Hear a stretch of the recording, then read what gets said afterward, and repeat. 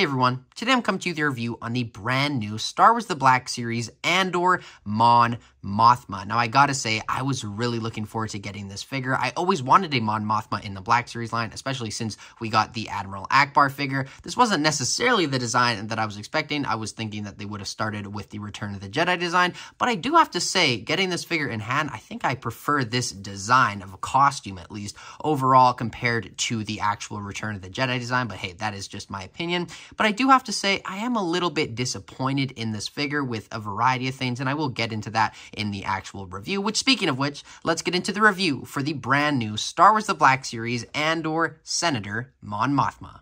Now, as always, I do want to start off with the packaging for this figure. It is in your standard plastic-free Black Series box, but on the front, you have the Black Series logo, as well as a render of the figure, which looks absolutely amazing. I really do like the pose that they did put her in. Star Wars Andor there, Senator Mon Mothma, some other information. There is the Galaxy packaging image. She is next to the Andor, as well as the Luthen figure. She is number 7 in the Andor series line. Nothing on the bottom. On the back there, you can see the price, just your standard Canadian Black Series price at GameStop, at least.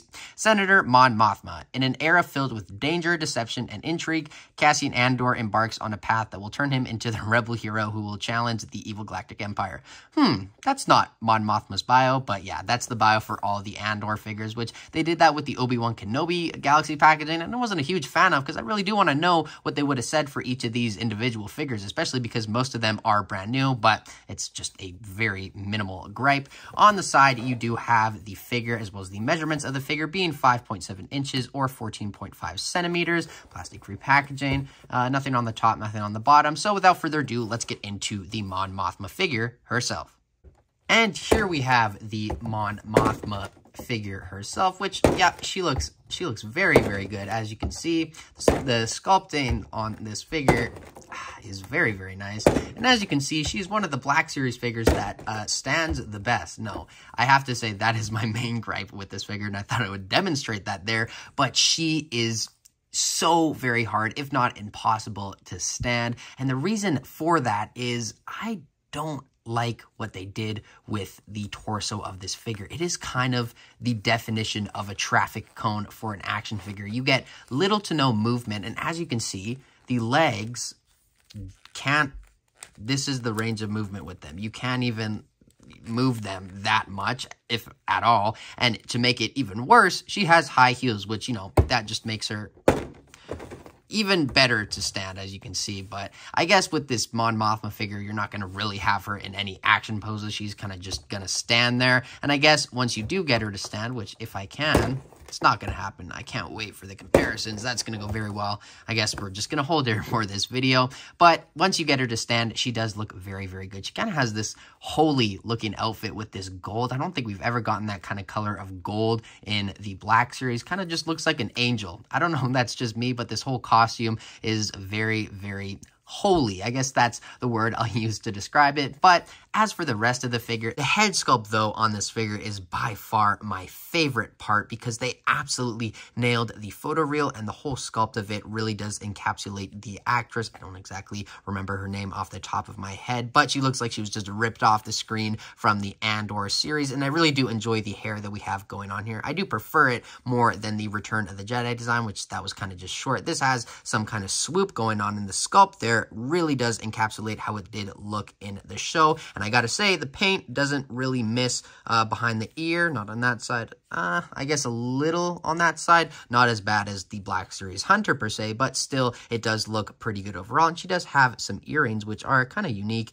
to get in the Black Series line. But yes, by far, this head sculpt is easily my favorite part of this figure. Now, for the rest of the figure, it is pretty straightforward. And as I mentioned, it is a traffic cone of a figure. What you see is really what you get. I mean, that kind of goes with any figure, but especially with this, you get like no articulation. And the thing is, is she does have fully articulated legs. They have full joints. They look like they would be very, very posable, in fact, but you don't get the chance to even begin to utilize that because this is completely uh, blocking the movement of those, which, you know, I guess makes sense. I just think they could have possibly designed this figure a little bit better to allow those legs to move, whether that would have been soft goods. If this part would have been soft goods, that would have definitely allowed a little bit more movement. This still would have gotten in the way, or if the whole thin with soft goods. That would have definitely been hard, but I just think they maybe could have designed this a little bit better to allow better articulation. But as it stands, like I mentioned, once you get her to stand, which is a daunting task at that, she does just do that. She doesn't really do anything else. You don't get any accessories with her. She does have a trigger, uh, trigger finger, a trigger finger, so she could hold a gun on paper, but you aren't included with one. And this other hand is kind of just a relaxed hand. On the box, she kind of just has the hand down and is just posed like that. And that's probably exactly how I'm going to have her posed on the shelf. But other than that, as you can see, I don't really think there's a lot more to talk about here. As I mentioned, the gold earlier in the video, I really do like this kind of shade of gold that they went with. She looks very angelic. And you know what? What a perfect video to make on Easter. Happy Easter, everyone. And then the silver does look very good as well. I just think the design overall completely looks like how she looked in the Andor series. But that being said, she is very, very stiff and definitely hard to stand. But other than that, let's get into the articulation of this Mon Mothma figure. Uh-oh. Now for the articulation on this Mon Mothma figure, ooh, ooh, some of the best Black Series articulation I have seen in years, by far. No, that is completely and utterly not the case. But anyway, the head does go up that much, down, side, side, full 360. So good range on the head, which is especially important with this figure. Arms do go out that much, down, full 360, single jointed elbows, and then there is rotation. And then the hands go up that much, which is good. Same thing on this side, but going down, this big chunk of plastic does get in the way. So you don't get that much range going down, but you still get a little bit, full 360 on both sides. Uh, and then, yeah, ab crunch it looks like there would be a joint. It feels like there would be a joint. Like, you kind of get something there, but it's not really going to stay as this is just one traffic cone piece of plastic like I mentioned. And then for the rest of this figure, you do get fully articulated legs there as you can see. And there is really no point in showing them because you won't be able to utilize them. But they are fully articulated, I assure you. But I guess let's just focus on the ankles. They go up, not at all really down a little bit, and ankle rocker pivot. But yeah, very, very weak articulation on this Mon Mothma figure, which I guess is fair because like I mentioned numerous times, she's not going to really do anything except just stand there. But still, I think they could have done something a little bit better than what we have here.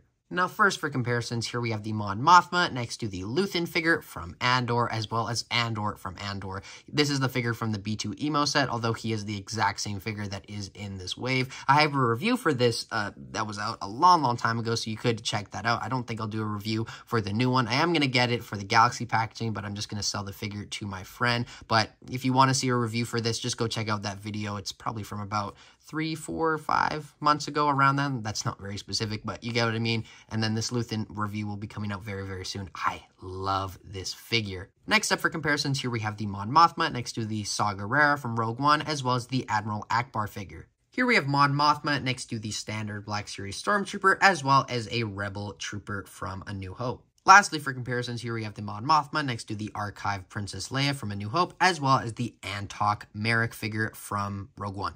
Now, for my final thoughts on this Senator Mon Mothma figure from the Andor series, I have to say Hasbro did a okay job on it. I'm not disappointed by it in any means. I just think they could have done a way better job with the articulation, a way better job, or just with the choice of material that they use for the sculpt. I don't think it's necessarily bad, and I think if you want a Mon Mothma figure, you'll be happy with this if you can get her to stand, which she did stand pretty well for the uh, comparisons, but it did take a while for her to stand like that, just like so. So, yeah, that is kind of my main gripe, is that she doesn't stand that well, and the articulation is kind of just, you know, not there whatsoever. You know, it is on the arms and the head, but the rest of it is very lackluster. And she does have the articulation, like I mentioned. It's just obviously hindered by this big traffic cone plastic dress. But other than that, with the price and account, which I have to say, that is a standard Black Series price, but, you know, it does feel hefty for what you do get here. It is just this figure, no accessories, which does feel a little bit light. But, you know, I did want a Andor Mon Mothma figure, or rather just a Mon Mothma figure in general. And I do think